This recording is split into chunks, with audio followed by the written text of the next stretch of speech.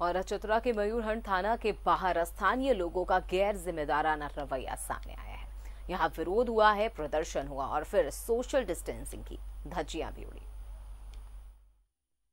Lockdown के बीच social distancing की धज्जियाँ उड़ाते ये लोग चतरा के मयूरहंड के पेपरो गाँव के कानून की मजबूरी यह है कि उसे अपनी हदों में रहकर काम करना है, पर इन लोगों की कोई हदें नहीं है। इन तस्वीरों में ही देख लीजिए, कैसे ये लोग झुंड बनाकर हंगामा कर रहे हैं और सबसे बड़ी बात कि ये हंगामा कुछ गैर कानूनी काम करने वाले युवकों के समर्थन में कर रहे हैं। पुलिस ने लाख मना किया।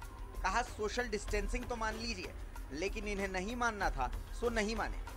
जब लाख मना करने के बावजूद ये नहीं माने तो पुलिस को सख्त रुख अपनाना पड़ा। तब जाकर ये हंगामा कंट्रोल हो सका।